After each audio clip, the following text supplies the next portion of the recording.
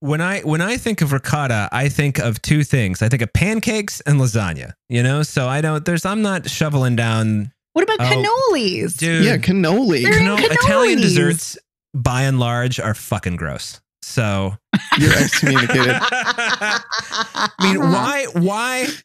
Don't you talk, don't you talk about my family that way?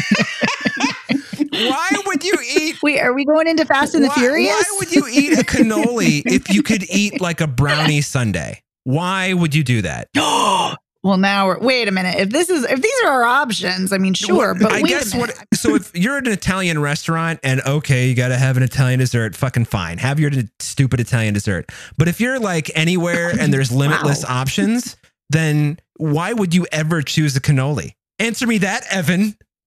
I'd actually agree with that. Because it's light and delicious. Wait a minute. I have never creamy. I've never had a light cannoli until I had a vegan cannoli. But like dairy laden ones, those motherfuckers are heavy. They are not like they got the triple oh. creme up in that. Not So- one made well. Oh, that's fair. that is fair. I might have only had shitty ones before I went vegan, so I will cop to that immediately. Oh, and you guys are maybe going to think this is interesting. I don't really like cake Mm. all that much. Just like oh, cake. that's funny. like- My roommate doesn't mhm. like cake either Yeah. at all. So you're not going to have your cake or eat it too. Oh, No. Ba-dum-bum.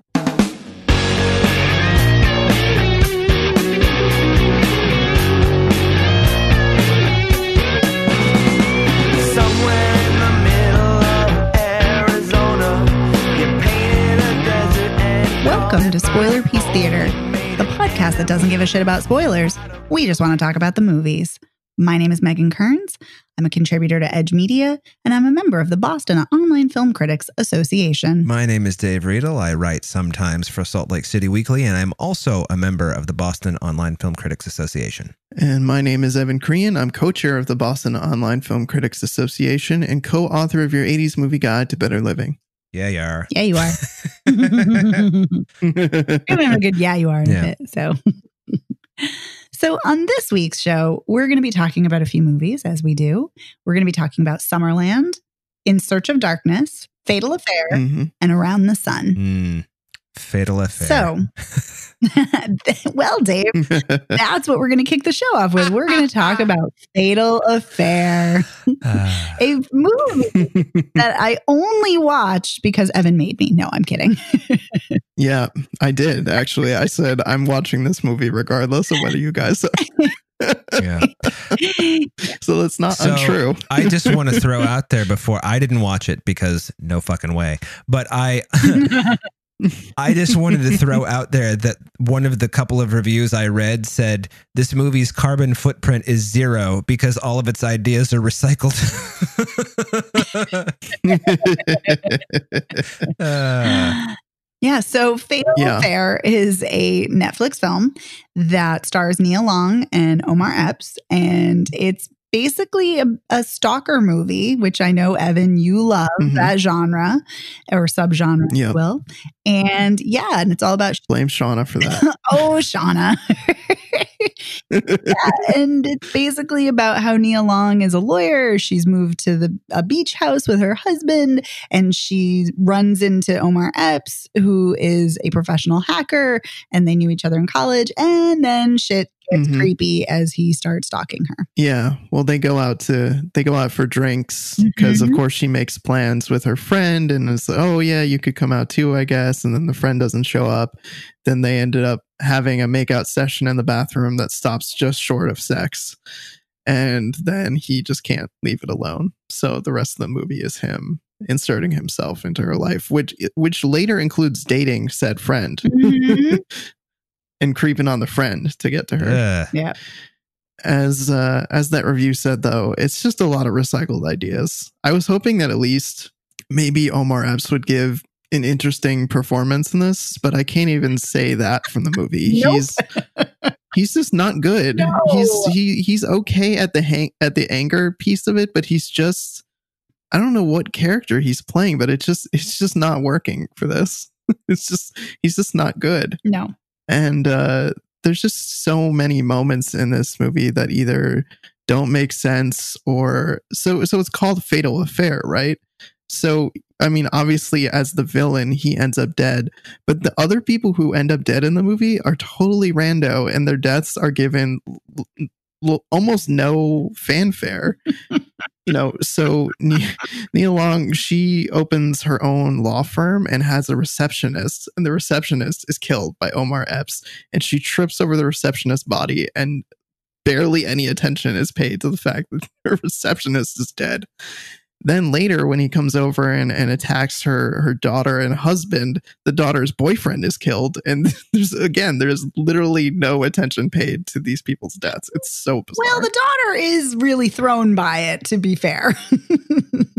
yeah, but the movie doesn't give a shit about him being dead. the movie doesn't give a fuck about anything. This is this, and I said, I said this off mic, and I will say this now on the show, on the record. This movie is the worst movie I've seen all year, and that it is terrible. It is boring. It is poorly shot, poorly directed, poorly acted, poorly written, poorly scored, poorly everything. And when a character is in a therapy session and says, Hey, doc, I'm doing great. I'm sorry. Who the fuck calls their therapist doc? Who calls their doctor doc? Nobody. It is absurd. yeah. It is ridiculous. This movie is fucking ableist. this movie is awful. I hated every single moment of it. Every moment. I tried to find something redeeming and I could not. Hmm. I could not. You know, I've only ever called people who are not doctors doc. I, there, a woman I worked, yeah, a woman I Fair worked with in. California. I used to call her Doc, and she's like, "Why do you call me Doc?" I'm like, "Because you can operate." So you know, nice. yeah. And she was like, "Oh, I kind of like that." I'm like, "Yeah, I knew you would." So anyway, Yeah, I mean, I mean, the thing of it is, is that uh, you know, to get serious for a moment, like I'm somebody who is has been stalked. I'm a survivor of stalking. Stalking is fucking terrifying, like absolutely horrifying, terrifying. It is awful, and there's definitely there's something there that that is potentially interesting like you know you guys know that i talked about invisible man and how absolutely triggering that was for me but that's an incredibly well made Mhm. film and that centers a domestic violence survivor's experiences so there's, there's Yeah. some there's really fascinating things to learn from it to glean from it a story to be told and here there is nothing like it, it, there's literally nothing nothing interesting nothing compelling nothing fascinating Mm, just nothing a whole lot of nothing I think it's interesting that she has to tell her husband about the affair and that he doesn't leave her. I think that's interesting. That was one thing that I thought was kind of surprised by. sure I mean, there's just there's so many movies where people cheat and the partners, you know, says that it's over, we're done, and I'm surprised that he is forgiving about it. I mean, yeah, but I do think it's funny that this is the worst thing you've seen all year because we did watch Love Wedding Repeat earlier this year, and I think that was a worse. wait, which movie one was this. Love Wedding Repeat? The one about the wedding from multiple timelines. Yeah. It's awful but this is still i think i Oh still my would- God, that I don't know, movie. maybe i maybe i would rather watch this i don't know they're both terrible don't watch either Because. I mean, they're both terrible I was gonna say, Megan, if this is the worst movie you've watched this year, you need to watch more bad movies because I can think I can think of so many that I saw this year that were objectively I worse. really don't want to watch more bad movies. No, thank you. I make it a point to watch movies that I want to see or that I hope will be good, not that I'm hoping will be bad. Yeah, Although, you know, I wasn't hope. I actually didn't think this was going to be terrible. I mean, you know, like Yeah. some reviews I I hear you. but like, you know, Nia Long, you know, can be really good. So I was like, oh, okay, this is probably not going to be the greatest thing, but you know, there might be something interesting here. hmm And nope, nothing. I think that's No, the thing. Like, no. Love Wedding Repeat, I feel repellent about. This movie just is so boring to me that it's just like kind of beige. like, how are you having someone like killing people and stalking and it's so boring? It's just, Yeah. I think that's why I think it's the worst movie because you're right. Love Wedding Repeat is horrible and repellent and repugnant, but this is like just Yeah. It's it's very middle. It's very like milk toast in terms of this genre of movie. Yeah. The one scene I think that I actually found kind of freaky is when the daughter was walking around in the house and she was going to make popcorn and he was sneaking around the corner. That was it. That was the one time I was legitimately, you know, creeped Yeah. out.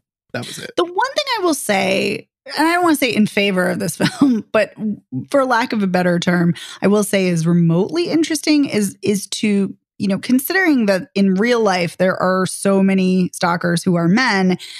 On screen, we don't see that. We usually see women who are seen as the stalker and who are unhinged. And hmm Yes. it is, that is interesting to see that gender reversal on screen. Yeah, I thought there was going to be an interesting turn in the movie, possibly when she does the thing where she's investigating him and kind of stalking him Yeah. to get to him. I thought this could turn into something really interesting. What if she thinks that he's stalking her, but he's not, and then she turns into the stalker? That would have been really interesting. Well, it would have been but that was, interesting. alas, not the movie. Yeah, it would have been interesting, but it would have infuriated and enraged me because that just would oh, of course. into every single misogynist trope that women can't be believed and you know it- they're- and everything's in their head so but it's funny that you say that because i thought that too i thought the film was setting that up too and i'm glad it did not go that route yeah. Hmm. but instead it just was boring Oh well. totally fair criticism. I'm not gonna I'm not gonna object to that because I didn't love this movie by any means. I just didn't think it was as horrible as you thought, it was, which is not high praise and by any means. No. So I guess we should probably move on to the next thing we're gonna talk about because I feel like I've already given this movie more time than it deserves. yes. So let's move on to the next film, which is Around the Sun, which Dave, I think you have some things to share about this yeah, film. I, I have um, my uh, criticism or non-criticism, however you want to look at it, uh, is probably um, if I were a Supreme Court justice, I would recuse myself because uh, one of my best friends in the world wrote this movie.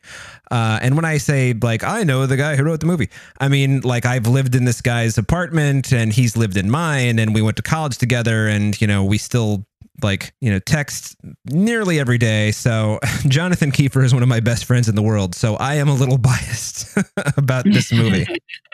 So there you have it. That's that's my that's where i come out. All right. Dave, do you want to share the summary of the film then since you i'll know- try to. It is a um it is a two person light drama about people who are w- walking around a french chateau and the movie is based on a book by Fontenelle. No joke, but it's also this quasi romantic, not comedy, although it has levity. Um, and it's just about these two people connecting in this place that is wonderful but sad. there, there, there. Is that, is that, That's a great summary, that okay? actually. I think that's a very, yeah, that's a very succinct summary. And I think Mhm. that was a really, that encapsulated the film. So I, yeah, I, all right. I Well, dug it. Let's hear what you Mhm. guys think about it. Oh, we should mention, by the way, that it stars. Um, I, I can't remember how to pronounce her last name, but Cara Theobald is that who was, I guess, Mhm. uh, a, a main cast member on Downton Abbey for the first couple of seasons. Eh, not a main cast member, but Okay. yes, she was on. Um, Abbey. and then it, the other person was one of the lesser snows, the guy, one of the lesser snows in Game of Thrones, I think. He was actually Renly Baratheon. oh, yeah, sorry. he was Billy Baratheon. Sorry, I'm sorry. I I'm mistaken. Well, I never watched Game of fucking Thrones, so how would I remember? I mean, good lord. Yeah, he played one of the one of the few queer characters on the on the show. So Well, Yay. he does not play Yay. a queer character in this, or at least I don't think he is. That we know That of. we know of, yes. he could be queer. We don't know. He could be, but I think that the idea is that they're going to get together. But Listen, they could still get together, and and, he they both you know could what? They be could both queer. be queer. You're right. Mhm. correct. I or one of them could be Yep. who You just don't knows? know. That's right. We cannot make assumptions about people's sexual orientations or their yes, genders. I do not mean to make assumptions about the queerness of or non-queerness of the characters in this movie. This is not the direction I thought this conversation was going to go. Rein it in. Rein it in. Let's go back. Back to the movie. I thought this was lovely. you did. Oh, I that, did. That Yeah, it's yeah. it's a bit slow and it's it's very quiet. Yes.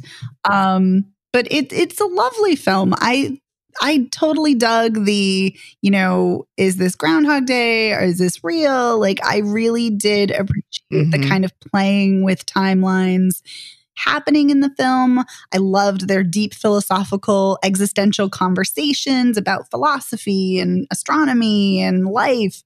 And I also really love the kind of notion of timing and how if you change one thing, one element, everything will be different.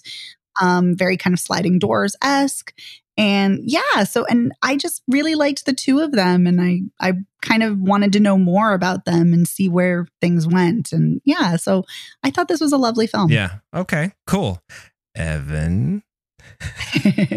I would I would say similar things to what you guys have said. It's it's very pleasant film. It's a little quiet. Um, I think for me, it's a hair esoteric. Some of the conversations just are a little bit to me just a little bit inaccessible but i do like the banter and the rapport between the characters i do like the multiple timelines element and i like how that all kind of comes together Mhm. like it has this kind of cosmic undertone with the the plot and the dialogue and this whole like celestial cosmic connection between these characters and i love that it all kind of turns out these were all hypothetical situations that she Yeah. had imagined and i thought that was kind of a cool twist. It wasn't time travel. It wasn't something insane. It was just things that she was kind of pondering in situations that she kind of ran through Yeah. in her head yeah. And in and just kind of and kind of like in the way that you do shit like that you know? It's like oh i'm going to meet this person.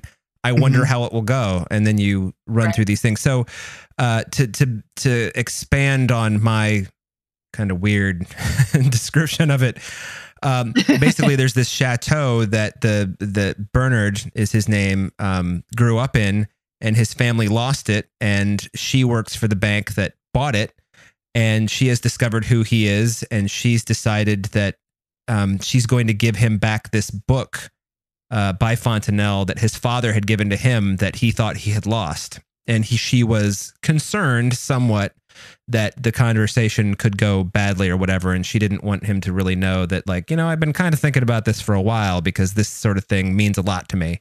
Um, and I, I think that it's all very sweet and good natured. And by the way, I should mention in the one section that does take place in the 17th century, um, that's my friend Jonathan Kiefer who goes and picks up his golf ball. So that's So that's his cameo. that's funny Um, because the the I the I think there's three scenarios. No, there's four scenarios, and then the real one. The first one is that he she imagines that um, he's a film scout and he's looking for a film Mhm. location. The 2nd Mhm. one is that he is um, works for a big tech company and they're looking to have a second campus in a remote area because their CEO is paranoid.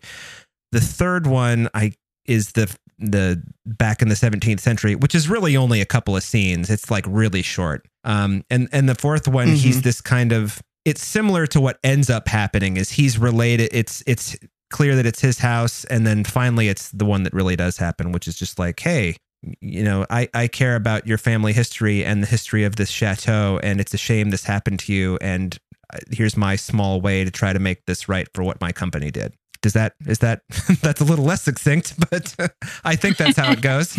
no but i think it's comprehensive Um, and I also I remember when I was read she gives him the this this is based the movie is ba- believe it or not it's kind of like how Mean Girls is based on Queen Bees and Wannabes. Uh, this this movie is based on you know Fontenelle's philosophical you know ruminations about um, conversations about the blood the philosoph I can't remember the name of the book. The book is something that his father had given to him, and I guess the idea is that his father also died tragically when he was younger. Although we don't really learn how that happened, but he reads. She gives him this book that his father had given to him that she found in the house, and it's got this inscription in it. And I sobbed both times that I saw it. you know, because it's just yeah it's one of those things that like it's so sweet. And you know when you think about someone that you have lost um unfairly or unexpectedly or whatever man does it tug at your heartstrings. And not in a sentimental bullshit kind of way. It just it's just kind of like i can see in this one little thing his father wrote in the front of this book. And whoever wrote that, by the way, was French because the handwriting is perfect. Um, that you can just see their entire relationship like in those four sentences. Yeah. Which, uh, if you knew my friend John, my friend John is very good at getting to the heart of things. so, Mhm. The um the book was the book was conversations on the plurality of worlds. The Thank you. Book. I knew it was conversations. I couldn't remember if it was like pluralities or blah, blah, blah, blah, or you know like the Zeppelin over Dayton. I don't know. So I just And I actually love that conversation in the film where um where they talk where Maggie and Bernard talk about the plurality of worlds and you know are there other parallel you know universes and you know do we and one of the most poignant things I think in the film besides that scene that particular scene where he's reading what his father wrote is when she says I'm a loser too. And he's like I didn't say I was a loser. And she's you know talking about herself. And then she says, you know, maybe there's another world where we got it right, or may, or he says that one of them says that, yeah. And I just that there's something so sad about that. Yeah because like you could do something in this world right now, and it's just yeah, it's just sad. Well, I was going to say in that particular world, it was a little bit difficult because he was married and just found out his wife was pregnant. Yeah. Listen, that doesn't mean you have to stay with someone. I'm just saying. yeah. Oh, I Um, know. I'm just I also think that I don't know if this is the way that John wrote it or that Oliver Krimpas directed it or the performances. I don't know how this all came together, but I always felt like the two of them are sad, but they're not existentially sad. They just happen to be sad in this moment. And it's something they're both going to emerge from. Did you guys feel that Hmm. way? I don't know. no. I got that they were Yeah. sad, Ah. not just in this moment, but they were sad like throughout their life. Ah, eh, could be. Um, I also found, even though they're both English, I found the way they talk about you know philosophy and stuff to actually be very French, which of course makes sense because Fontenelle was a French dude. But um, you know, Mhm. uh, it, it uh, it's the kind of conversation that even though these two people don't, the conversations that even though these two people don't know each other, they just get right to it. Which, if you've ever seen any French movie, is what happens in every French movie. this is like, I my father abused me. You're like, wait, I met that. I fucking you just ordered a drink from me. I don't know who you are. You know, it's like like this, those are all all French movies. I'm generalizing, I know we shouldn't generalize, but. I don't know. I dug this movie a lot. I dug it a lot the second time, and um, I think I would dig it even if my very good friend hadn't written it. So, um, and I also like the way it looks. Um, I should mention that it really uh, the cinematography, uh, the exteriors because it was shot in Normandy. They really got you know the colors of you know what that looks like and all of those things, and but the inside of the house, how it's kind of it's decaying, but it's still you know 60% of what it was i thought was really i don't know it was really a fascinating way to look at it. And they did shoot it in a you know in a crumbling chateau um, in france. So all in one location. Um, so there you go. Yeah, one of the other things I love, and I love the animations that kind of separate oh yeah. the kind of like the intertitles that separate each scenario.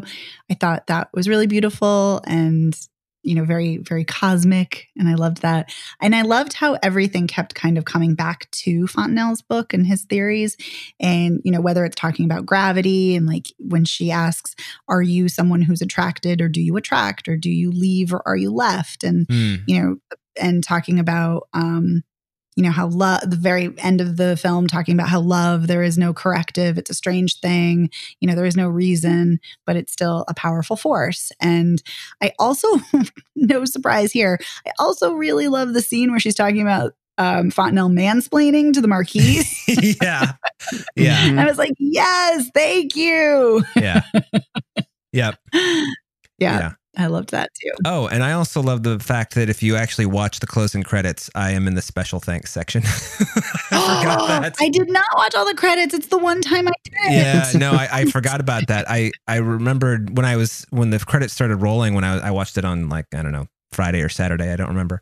And uh, i was like wait a minute is this the movie that i have the special thanks? And like there's a million people who are thanked so it's not like it's like special thanks dave riedel. But um but i am in there alphabetically you know obviously toward the end because the last name begins with r and i was like oh yeah this is the movie. So because there isn't another one. Yeah. Nope. Anyway, But yeah, yeah. I love a film where people are two people are strangers and are just kind of connecting in this, you know, unique moment. And it kind of reminded me of, you know, Before Sunrise and Columbus and, it's you know, ah, myriad other films that, you know, take place in a very short period of time where two people are connecting and, you know, and have these really deep conversations and this unexpected connection. And I just, yeah, I really, that I really liked that tremendously. it's interesting that you bring that up because our Patreon exclusive audio this month uh, or this week is about movies that take place in a day or less. And would this Mhm. movie take place? Would this movie qualify because there are different timelines? I don't know. Interesting. Yeah, I would say yes, but there's definitely a debate to be had. Mm, indeed. Mhm. Qualify, yeah. Yeah. Oh, and by the way, patrons, we talk about Dread in the um, Patreon section. And for non patrons, if you want to hear us talk about Dread, go go sign up. Anyway. Yeah. so Do we have anything else we want to say about Around the Sun? um, it will be on VOD on August 4th. There you go.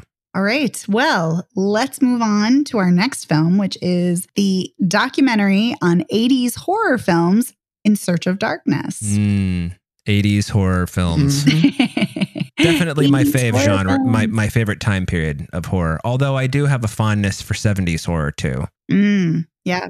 80s horror is great, though. Yeah. Yeah. And I'm sure we'll get into why 80s horror is great. But yeah, so this is a four and a half hour film. It sure So- is. Mhm. very long. Yes. It's comprehensive in many ways. And it's not comprehensive in other ways. In other ways, right. So Yes. let's talk about that. Let's talk about you know what worked, what didn't, you know what we liked, what we what we thought could have been stronger. Let's let's dig in. So what did you guys think? I think that it's actually relatively surface level, and there isn't a lot of information I learned about any of these movies that I didn't already know, which is kind of a bummer considering it's four hours and 23 minutes. That said, it just so happens that I love 80s horror enough that I was quite pleased to watch it anyway. Um, but Mhm. that is not a ringing endorsement of this movie. I, I think if you're not predisposed to this kind of to this subgenre, I don't think you're going to learn anything that you don't know. Um, and if you want to learn more about 80s horror, I, I think there are better movies out there. I mean, just the the the Friday, not the Friday the 13th. The um actually there's the Camp Crystal Lake, all of those documentaries Mhm. from that big huge Friday the 13th release a few years ago. Yep. But um there's a better documentary about the Nightmare on Elm Street series that I can't remember the name of, of course. Mhm. And it's long too. It's really long. Mhm. It's like four hours also. So it, it just it was cool to see some of the performers who are uncharitably like B movie performers. Um, but it was also kind of cool to actually see John Carpenter talk about because John Carpenter gives a lot of interviews, but in one, it, you, you get all in one space how he felt about Halloween, how he felt about the thing, why he did Christine, why he did like why he did this bunches of movies in a row, which basically boils down to it was what was available to me at the time. yeah. Mhm. but it was cool to see him. Um, it was cool to see Stuart Gordon and Brian Yuzna and Larry Cohen and uh, I can never remember her name from from Re-Animator. Barbara Crampton, Barbara Crampton. yeah, who's great.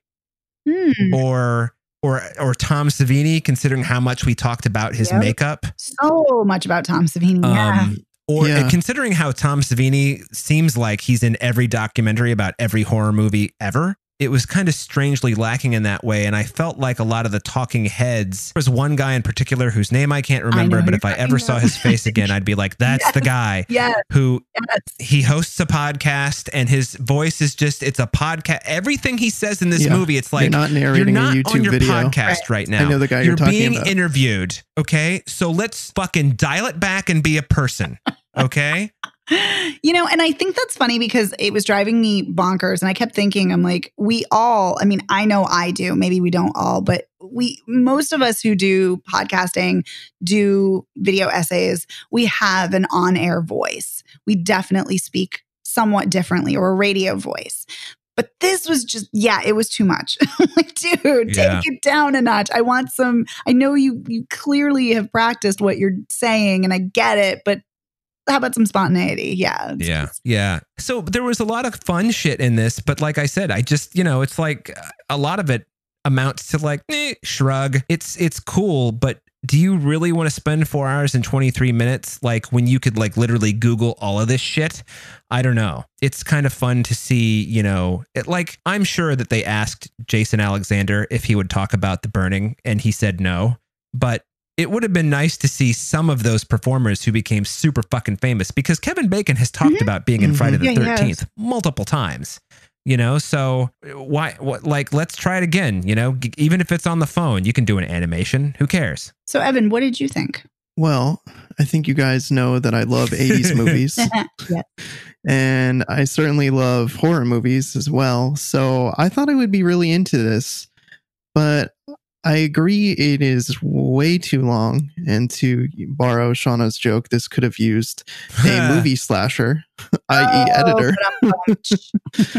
And I think this would have benefit benefited from being a series instead of a, a four and a half hour documentary Yes. because to Dave, to your point, it is all very surface level. It is both comprehensive and not comprehensive at the same time because it's covering tropes, it's covering directors, it's covering years, and I think all the animations are really cool. And I love most of the movies that I saw them talk about because I'll be I'll be real with you guys and tell you that I made it two hours and of two, two and a half, or out of four and a half because I also just like I got tired at a certain point of it. It felt just kind of like sure. repetitive, Mhm.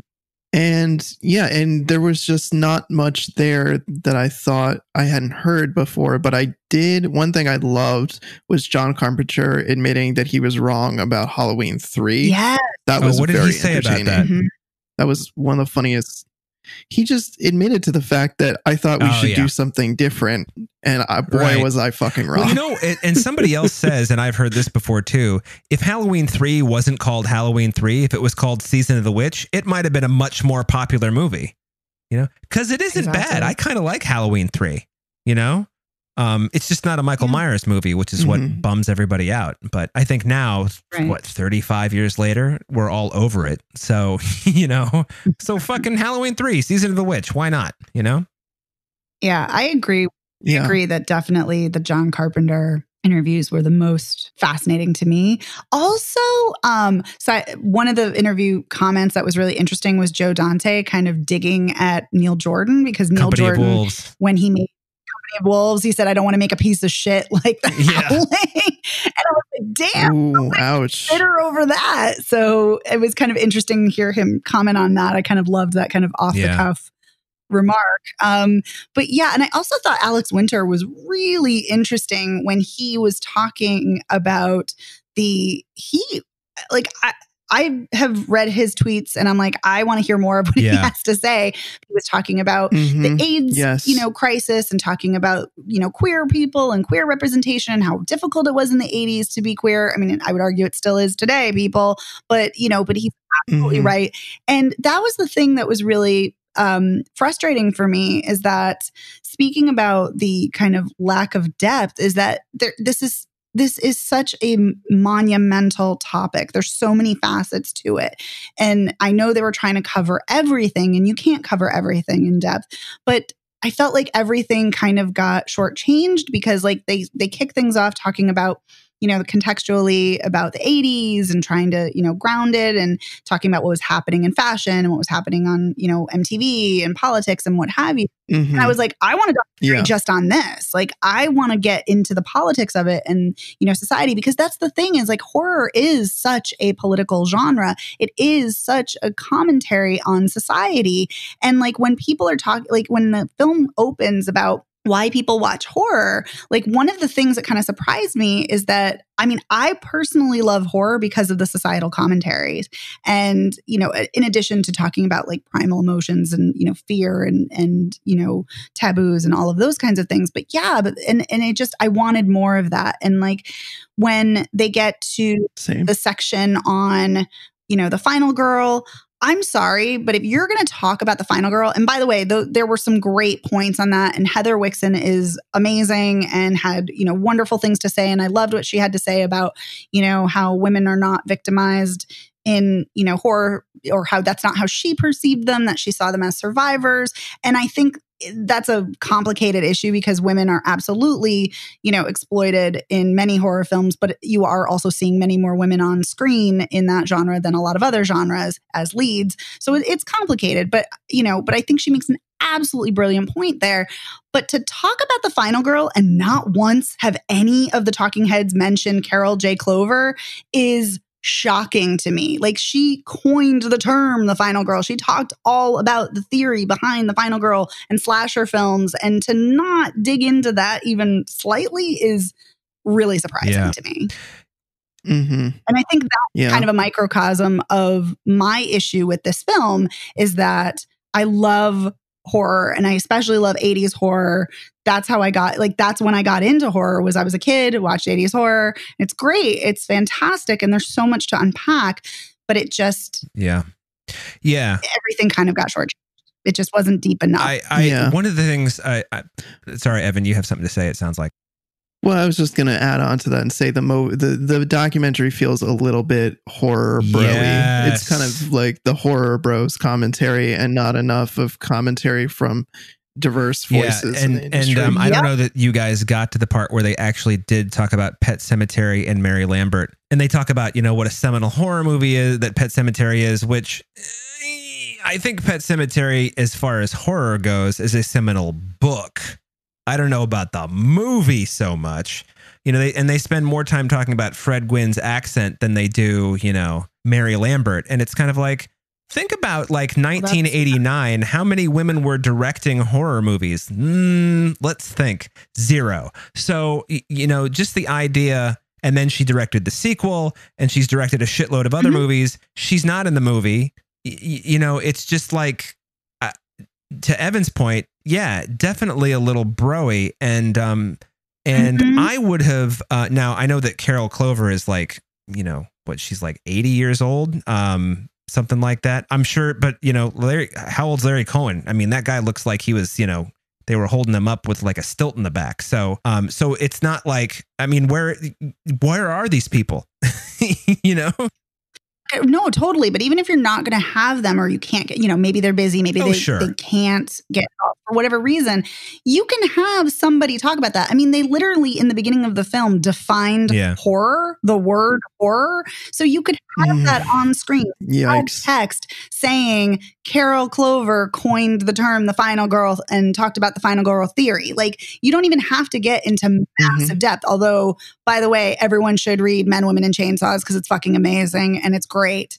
Um, which is her book all on the final girl in slasher films, and it's incredible. But anyway, like you can have like you could have that briefly on screen if you're not going to have it, like if one of your you know talking heads doesn't say it. And this is the thing i really wish there had been more film critics. And like there Yeah. are some but i wish there had been more and i wish there had been more filmmakers. Like i, I Mhm. some of the actors are great and it's it's fascinating to hear their perspective too but a lot of them are not doing film analysis or film theory or film criticism or film history and i kind of wanted more Yeah. of that w- along with the stories of you know john carpenter and joe dante talking and yeah and i and back to your point dave mary lambert's pet sematary is seminal and i would Oh. argue that it is but i digress Oh, But just, you know what? It's just, but I, I think it has a lot of flaws. That's all. N- not, Oh no, it's Yeah. absolutely flawed. I I agree with that too. But here's the thing: I I absolutely am so glad that you guys talked about the broiness of it because there were so many men, so many white men. There's not enough. You know, there are not enough women, not enough people of color. I mean, there are only a couple of people of color who are, you know, interviewed in this.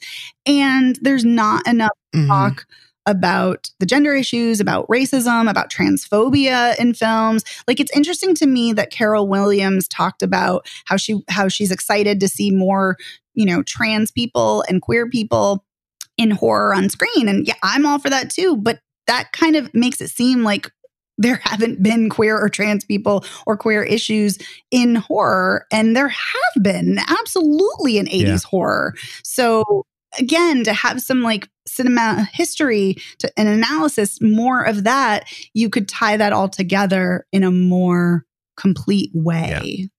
in a more complex way more in-depth way yeah. Mm-hmm. Yeah, I just I think you guys all seem to agree with me, or you all seem to agree with me that for four hours and twenty three minutes, there's just like I don't know. It's kind of like, did you guys ever see that documentary? The Eagles made it, but it's about the Eagles and it's four hours long. anyway, No, I like the Eagles, and that sounds like a I mean, nightmare. one of the things that it does perfectly is it exposes what true assholes Glenn Frey and Don Henley are, and they're not afraid to show it either. But it really gets into like minutia and like even though it's produced by them, and you're like, oh, it's produced by them, take it with a grain of salt. It really gets into the like, nah, we were dicks about this. Whereas this movie is just kind of like everyone wants to make nice, and you know, we don't talk about the more controversial stuff, and like. I would love to hear about the, you know, the four minutes of violence cut out of My Bloody Valentine and what effect that had on the box office and what it meant for movies that came after it and, you know, violence in horror movies. Um, they they mention it briefly, Yeah. but it's just kind of glossed over. And, you know, My Bloody Valentine is one of my favorites. Um, mostly because of the Canadian accents. But um But that's the thing. There are so many things that are glossed over. And I mean, you know, I I don't know if they got to it later because I also I got through most of the film, but I didn't I didn't I ran out of time. But like talking about sleepaway camp when they first talked about it and not mentioning the transphobia of it is just outlandish to me. And Mhm. to not have, you know, more conversations about like to have only men talking about the tree rape scene in Evil Dead is just I you know, and just Ellen Sandweiss has talked about that too. So it's not like it's taboo. Well, you yeah, know? Mhm. But but the thing is, like, they spend time talking about that, but they don't spend enough time talking about all the really cool camera tricks that they did because they had no money. They t- they do talk about their fake Steadicam that they made, but they had like another contraption they made that was like a dolly that was like a a, a sawhorse that they duct taped and threw Vaseline on, and they would slide the camera across that. I, that's the stuff I'm more interested in than talking about the the well traveled, you know, stuff about Evil Dead. I will say that I did. Speaking about more of the technical elements, I I always enjoy hearing Greg Nicotero talking about um, his career and his process and how you know he learned and talking about you know special effects and makeup and that was really interesting to me. Um, but that's the thing, and you know, and uh, yeah, I, again, yeah, just more Yeah. of it. less. I wanted way less summary about each film. Like I know they wanted to go year by year Mhm. in every film, but if that if they had cut out all the summary about that, you could have gotten into more of technical elements. You could have gotten more into, you know, talking about tropes and talking about themes and talking about analysis you, and you know, kind of more on set experiences. Yeah. So it, it does seem like an interesting choice and and I'm I'm curious as to why there's so much summary about each film. And then I'm like, who, like, because part of me feel, and I kept thinking about this, like, who is this for? Who is the audience? Because part of me feels like this is a love letter to Mhm. horror. And that's great. And that's amazing. And if we just want to celebrate horror and especially 80s horror, like, that's amazing. And I do really like that there is a through line through a lot of the film about how horror is sidelined and it's seen as a disposable genre because it absolutely is. Like, it never gets recognition critically. It never gets award acclaim or very rarely or you know like the whole conversation um about elevated horror which is so fucking annoying. And you know so i really love that. And it, you know if this wants to be a love letter to horror like that's great. I love that. But then it also seems to be explaining things in a really rudimentary way that I'm like, wait a minute, if you've watched 80s horror films, you know all these films, or even if you haven't seen them, you know what they're about, or you probably Mhm. have watched all of them. So it's like, why are you explaining them? So who is this for? Is it for someone who is a horror, you know, newbie who doesn't know horror and you're trying to get them into horror? Or is it for the horror fan? Or is it are you trying to balance it for both? Because if so, it doesn't quite work. Yeah, So, and I, I would yeah. And I would think on a network that is networks uh, on an app that is specializes in horror, you could really get into the shit. You know, you could you could go Yeah. like, you know, the reason we did the squibs like the, the reason we use ketchup packets instead of, you know, uh, condoms filled with strawberry Quik and chocolate is because of X, Y, and Z. Like, um, that's ridiculous. But you know what I mean? This, this, this, that's Yeah. like, Although there is a little bit of that because Greg Nicotero talks about the intestines and how they used real intestines Right. and how people, you know, plugged up their noses because it was smelled so bad. Like that's fascinating. But like, why is it? Why is that story few and far between? Yeah, but you know, it's interesting that you say that because um, I don't know which documentary this is, and it might just be on the DVD or the Blu-ray. But when uh, on Dawn of the Dead, they talk about it might be Savini talking about how bad the guts end up smelling at the end of the day. You know, so it's like Yeah. these are things we know. Although the guts in uh, Day of the Dead much more effectively gross than the guts in Dawn of the Dead, in my opinion. But um, you know, that's neither here nor there as far as this conversation is concerned. So uh, it, it was just it's kind of disappointing that Shudder is like I I think you know it's owned by AMC. Everybody knows what it is. They know what they specialize in, and I think because they're a niche that people that that caters to you know horror, they really had an opportunity to fucking dig in, and they didn't. But they still bloated it to four hours and twenty five minutes. So yeah, I'm not disappointed. I watched it, but still. No, I'm not disappointed by any means because I mean, I love that they, you know, pay attention and and there's there's some great sound bites and a tiny bit of conversation on like the Lost Boys, which you guys Oh, know I love, The Fly, which is amazing, you know. Um, but yeah, I mean, you know, it's great to you know revisit these films. You know, Nightmare on Elm Street is amazing. You know, all of these films are are so good. I think I think uh, to your point, Evan, I think this would have worked better as a series, a ten or twenty part series. You know, something like that. Yeah. Really get Do nitty gritty. Yeah, do it like Eli, Eli Roth's History of Horror, which was also on AMC. Mm-hmm. Do it something like that where you just do multi-part, you know, Yeah. series. Right. And if you don't want to do that, like, because, you know, if you want to do a film, which, you know, I'm all for that too. But yeah, but then it, this needs to be severely edited and also to have like more in depth conversations. Agree. yeah. But I don't by any means like dislike this to the point where I'm like, oh, I wish I hadn't watched it. Like, no, it just, I think this was just, it was like such a tease. Like, I just wanted A more. four hour tease. oh, that's what we call Yeah. tantric. Okay. Yeah. Oh, God. We should we should move But on. let's get Yeah. on to our final movie of the show, which is Jessica Swale's Summerland. This movie sucked. I didn't say it. You saw I saw 40 minutes of it, and the 40 minutes I saw, I did like, and I do intend to finish it. But you guys saw it, and I didn't really see the whole thing. So. You should finish Okay. you should finish. because I think this movie is really good. It surprised me how much I liked it actually.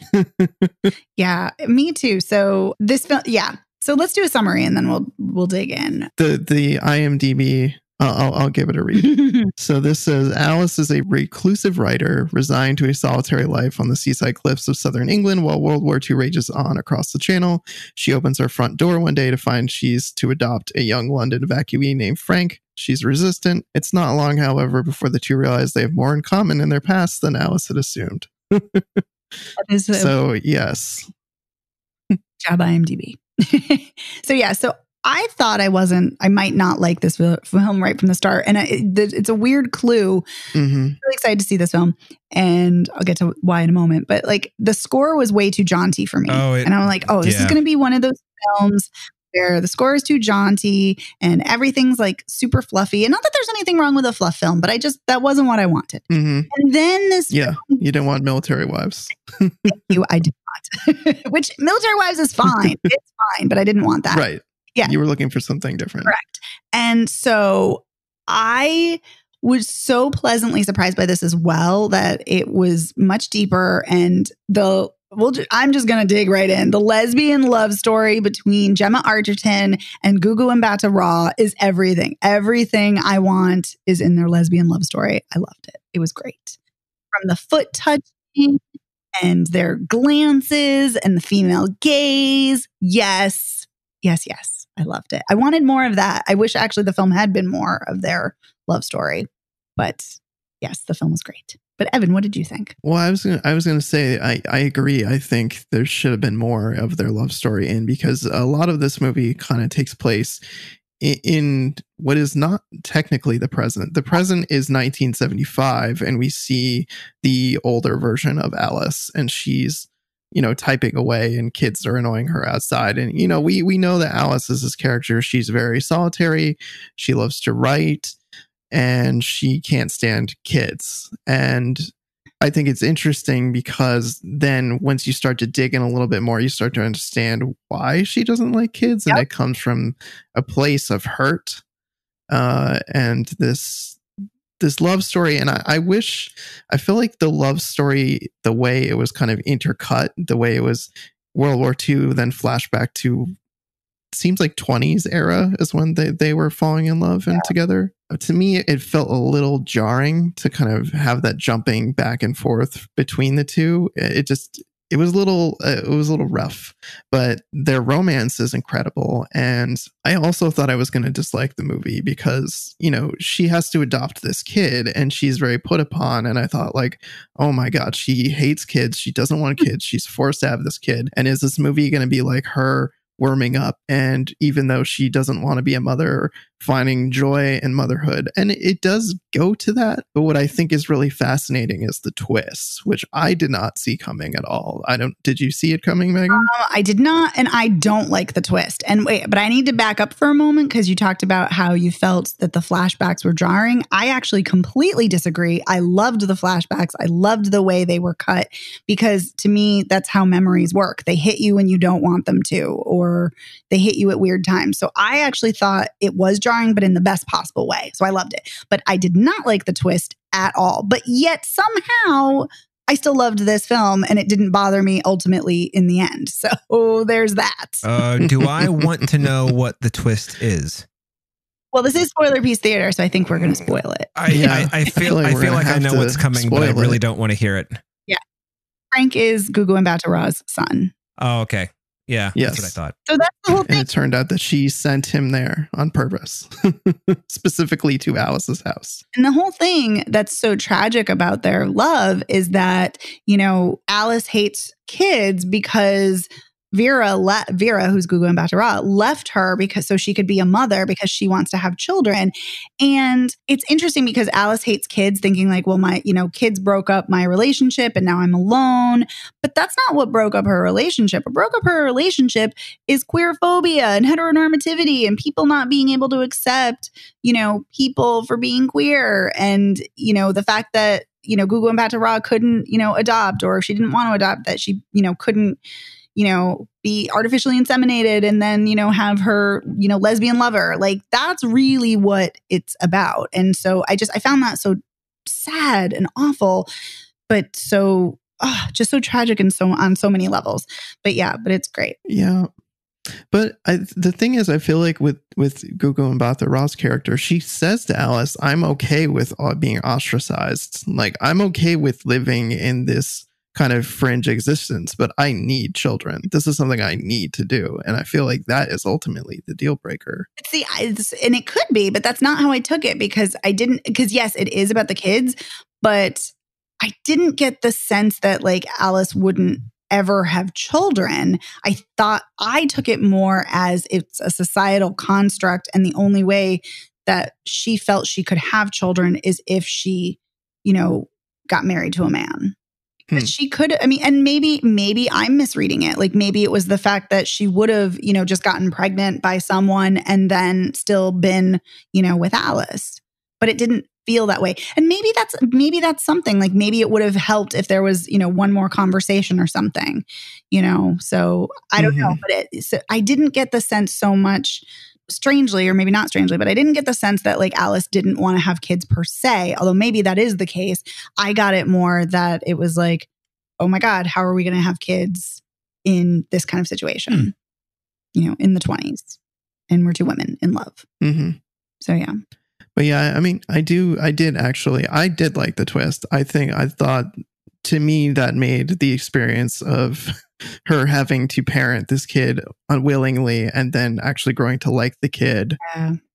For me, it made that experience worthwhile and not as cringy because I feel like, I don't know, it's just shitty to force someone to have to be around children. But the fact that you, you know, Vera says later to her, "You're the only person that I would have trusted with my son." Yeah, which is so sweet. and the fact that she comes back and the fact that they end up together and we find out you know it's 1975 again and we found out that they had a very happy life together mm-hmm. and they've grown old together and they have this beautiful son that they've raised together who is a is a grown man and they have this just wonderful life to me that made that aspect or that element of the story worthwhile because it ultimately led to them getting back together and and ending up happily ever after which is so great because we need more queer happy endings.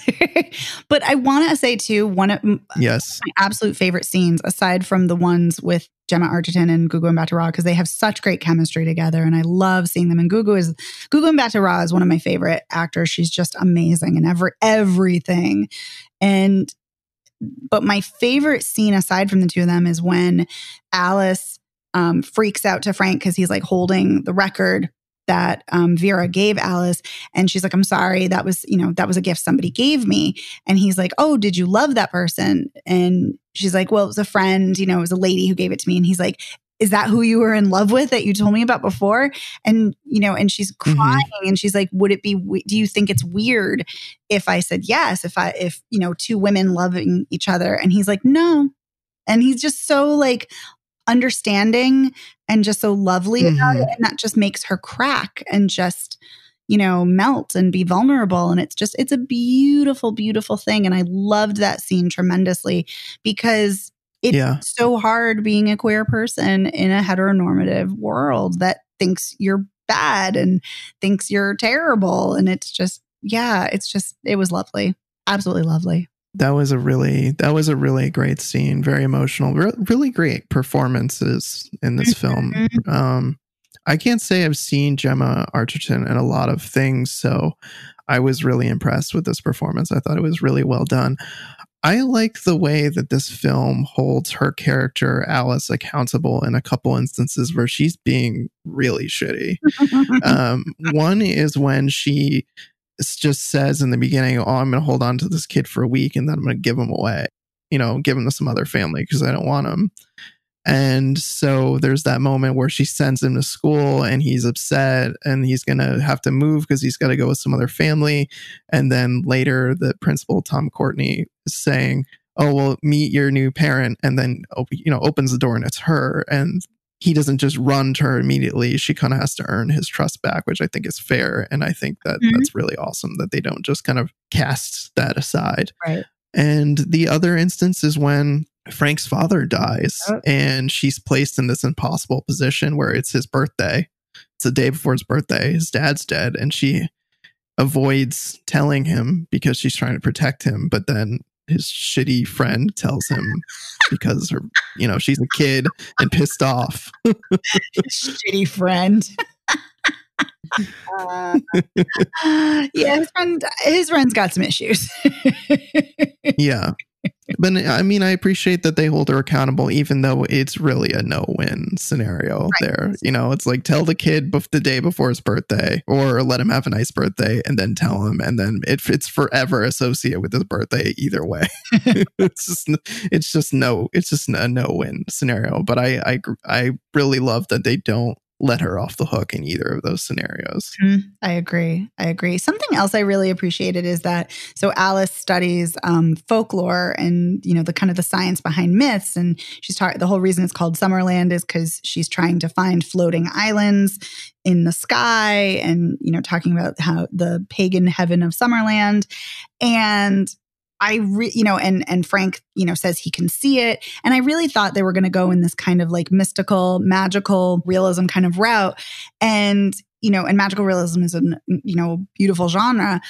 But I kind of appreciated that it it grounds it a little bit more because like when she says like I didn't you know I didn't volunteer you know I didn't write anyone to have a child stay with me. And it, and like people keep saying like well you would have had to have volunteered. And i'm like oh god is it going to be some kind of like fated thing? Like it was magic or something? And no it's vera who sent you know who sent him to stay with her. And i just i, I Mhm. appreciated that that like there was some grounding. I also really liked that she talks about you know witches and how like single women with cats are like associated with witchcraft because people in town around thinks she's a witch, and it just you know it just Mhm. Or a spy. right right a spy for the nazis yeah and it just it goes to show in a very kind of subtle way or a small way that you know queer women and independent women are seen as a societal threat and how they have to be ostracized you know for going against the grain and i just i just kind of really appreciated that just that moment about that I, I dug that too. I liked that it, it had these, you know, myths and mythology that she was studying, but it was it was real life in reality. Mm-hmm. yeah it wasn't taking this kind of fantastic route. right exactly On the surface, it being kind of a period piece, I just I, I and thinking it was going to be this kind of light, fluffy movie. I'm glad that it upended my expectations. Yeah, not that there's anything wrong with light and fluffy, like I said, but yeah, it just wasn't what I wanted. Yeah. I was hoping it would be a lesbian love story, and it was. Yay. I have some bad news. You guys Uh-oh. spoiler pieced it so much. I don't know that I need to see it. you do. I mean, I mean, we spoiler piece some movies, but man, did you guys spoiler piece the fuck out of this? Oh my god, there's no mystery left. I'll still watch it. I You know. should I, still watch I'm, it. I'm not actually irritated or anything at all. I just thought, you know, I'd give you guys some shit because people say to me uh, more than you would think. It's like, hey, you guys spoiled blah blah blah. I'm like, what's the name of the fucking podcast? Jesus Christ. anyway, you kind of Yeah. know what you're in for when you listen. but yeah, it's definitely still worth watching because the performances are great. And yeah, and seeing Alice and Frank's friendship blossom is lovely. Seeing Alice and Vera reunited is wonderful. Yeah, yeah, there are a lot of great scenes in this. All right, so let's do a quick recap. So, Fatal Affair. I'm going to say do not watch this. What about you, Evan? Same. I cannot recommend it. And Around the Sun. Would we say? see it. Well, I know you would say see it, Dave. I would also say see it. Yeah, I would say see it. It's an hour and 18 minutes. Like, how can you say no to that? Um, what about In Search of Darkness? Oh, I don't know. That's tough. I, I think for the casual horror fan, they might not care because they're like, why would I watch a four and a half hour movie about 80s horror movies? And for the like hardcore fan, it's like, I know all this stuff. Yeah. So this is tough. Yeah, I'm not sure. I know. I, I, you're articulating my feelings on it too. That like I feel like I kind of feel torn in that way. I would probably say see it Mhm. just because there is enough. There are enough interesting things here. But yeah, but I, I totally hear you. Okay. Evan. I would say probably no. Don't see it. yeah. Fair enough. And Summerland, I would definitely say see. hmm Do you agree? Yes. And Dave will, Okay, say, cool. Dave will say see it too once he finishes it. Okay. I'll take that. I'll take that bet. All right. Well, that's going to do it for this episode of Spoilerpiece Theatre. We want to give a huge, huge thank you to our amazing, au- our amazing editor, Otto Clamor. Otto, we love Yeah. we could not do this without you. Thank you so much. Thank you, Otto. You can find us anywhere you listen to podcasts. You can also find us at our website, spoilerpiece.com. You can find us on social media. Please follow us on Facebook. We're at Spoiler Piece.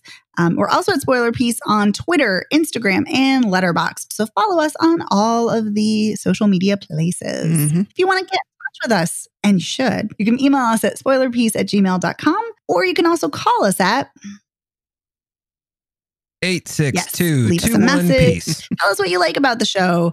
Tell us what you want us to talk about. Let us know what you think of these films. Did you like them? Did you not like them? Feel ambivalent? Talk to us. We want to hear. If you like what we're doing, please rate and review us by going to ratethispodcast.com slash spoiler piece. We really appreciate your reviews and any comments and feedback.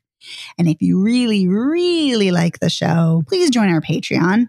This week, we talk about our July poll winner, which is Dread. It's a great conversation, so you definitely want to hear that. We do weekly bonus episodes. Support us for $5 a month. You can vote in monthly polls, listen to weekly audio. If you support us for $10 a month, you get to tell us what to watch and discuss each month. And for $1 a month, you get a shout out on the show. We share your name. And so for right Mhm. now, we want to take a moment to thank all of our patrons. Yes, we want to thank Sean Pensionar. We want to thank Christopher Jensen, Bob Chipman, Davida Margolin, Zach Pigeon, Chris Wilkinson, Elisa, Max Scoville, Shona Glasgow, Rory Glenn, Shelley M. McCaskill, Mike, Lord of the Sith, Deirdre Crimmins, and Shauna Harris. Thank you so much. Friends. Thank you, We patrons. really appreciate it. And we appreciate you listening. Mhm. Thank you to all of our listeners as well. My name is Megan Kearns. I am a contributor to Edge Media, and I'm a member of the Boston Online Film Critics Association. You can follow me on Twitter at Opinioness World, and you can follow me on Instagram and Letterboxd at The Opinioness. My name is Dave Riedel. I write sometimes for Salt Lake City Weekly, and you can find me on the Instagrams, the tweets, and the Letterboxd as Dave Sees Movies. And my name is Evan Crean. I am co chair of BAFCA and co author of your 80s movie guide to better living. You can follow me on Twitter and on Letterboxd as Real Recon. All right. So thank you so much, everyone. Bye. See you next week. Thank